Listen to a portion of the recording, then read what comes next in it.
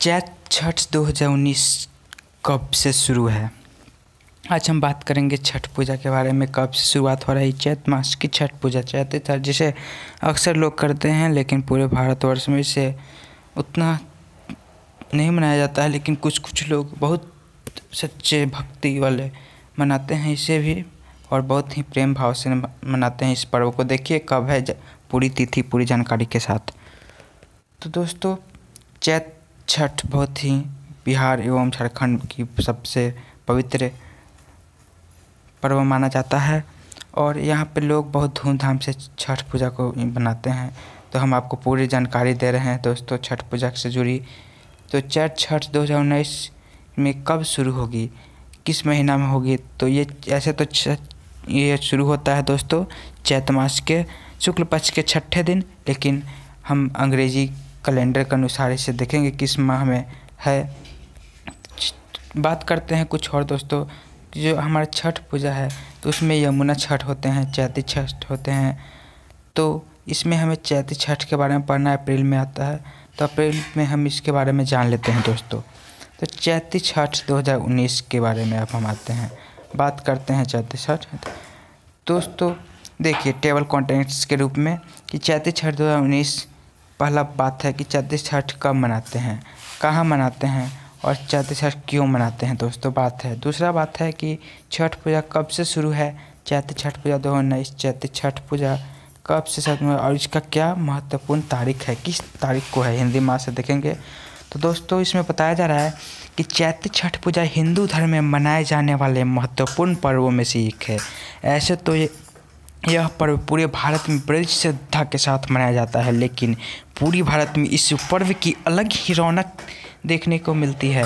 छठ पूजा का यह पावन पर्व सूर्य देव की उपासना के लिए मनाया जाता है। पौराणिक कथाओं के अनुसार छठी मैया सूर्य देवी की बहन है। कहते हैं, छठ पूजा में सूर्य देव की उपासना करने से छठी मैया प्रसन्न होती हैं और मनोकामना पूर्ण होती है। चैती छठ कब मनाते हैं दोस्तों? तो हम जानेंगे हिंदू पंचांग के अनुसार, हिंदू नववर्ष के पहले महीने चैत के शुक्ल पक्ष की षष्ठी को छठ मनाई जाती है। यह छठ चैत माह में मनाई जाती है, इसलिए इसे चैत छठ कहा जाता है। कैलेंडर के अनुसार यह मार्च या अप्रैल महीने में मनाई जाती है। अब कहाँ मनाते हैं छठ, चैत छठ? चैत छठ का पावन पर्व बिहार, झारखंड, नेपाल, जो कि भारत के बाहर है दोस्तों। भारत के पड़ोसी देश है, सिर्फ़ भारत में नहीं अन्य देशों में भी मनाया जाता है। तो हम देखिए, बिहार, झारखंड और नेपाल के कुछ में बड़ी श्रद्धा के साथ मनाया जाता है चैती छठ इसके अलावा दिल्ली, मुंबई और यूपी के कुछ हिस्सों में भी चैती छठ बहुत धूमधाम से मनाई जाती है। चैती छठ क्यों मनाते हैं? तो बात आता है चैती छठ क्यों होता चैत माह की छठ का पर्व सूर्य देव की उपासना के लिए मनाया जाता है। माना जाता है कि चैत छठ पर सूर्य देव की पूरी करने से परिवार को सूर्य देव का आशीर्वाद मिलता है। छठ का व्रत और पूजा संतान सुख के लिए किया जाता है। माना जाता है कि इस व्रत के प्रभाव से निसंतान को भी संतान सुख मिल जाता है। यह व्रत मन चाहे मनोकामना की पूर्ति करती है। बहुत ही अटूट, बहुत ही बड़ा पर्व है छठ हिंदू के लिए। हिंदू धर्म के लिए, सनातन धर्म के लिए। अब दोस्तों हम बात करते हैं मेन कि हिंदी मास के अनुसार छठ पूजा कब मनाई जाती है। तो छठ पूजा कब से शुरू है दोस्तों? तो इसके लिए हम बात करेंगे आपके पास। तो छठ पूजा, आप देखिएगा कि छठ पूजा जो है, वह अप्रैल के महीने में है। कब है दोस्तों? तो हम आपको अभी बताते हैं।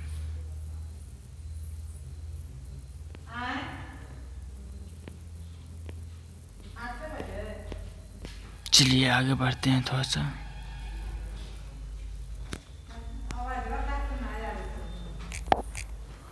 थोड़ा सा हम वीडियोस को